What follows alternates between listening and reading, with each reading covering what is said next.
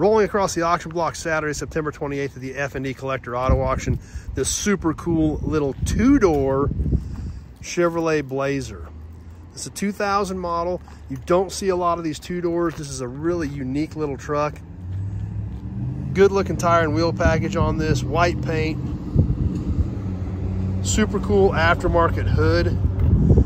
Very unique look on this little S10 Blazer. Clean little truck that's packing a punch. Yes, this one does have a surprise under the hood that we're gonna look at here in just a minute. Let's take a peek inside of this little Blazer. And it's a clean little truck. Stock interior, and nice and clean and original from here. But once again, when we look at the dash, we see some extra gauges here that tell us that not everything is all stock about this little Blazer.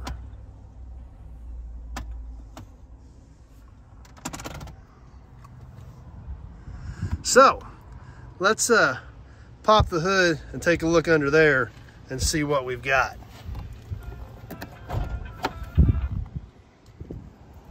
Now back here in the cargo area, doesn't look quite stock either. So most of the interior, and other than the tires and wheels, this looks like a really cool little clean two-door S10 Blazer. But now that we've got the hood open, let's take a peek under here. Yes, this is LS swapped.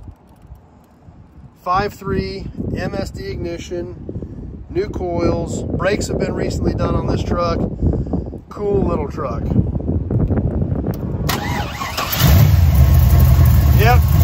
Doesn't sound stock.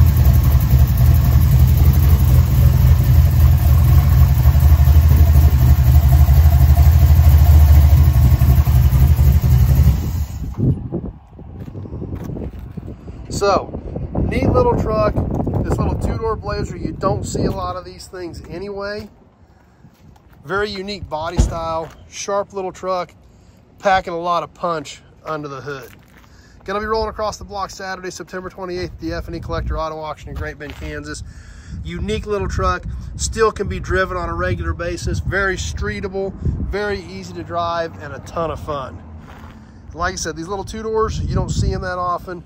This cool little truck could be yours at the end of the day on Saturday, September 28th. We sure hope to see you there live and in person at the F&E Collector Auto Auction. If you can't make it, Online bidding is available through ProxiBid. Jump on proxibid.com. Check out the online bidding on there. And at the end of the day, this little super cool little LS powered Blazer may be heading to your garage.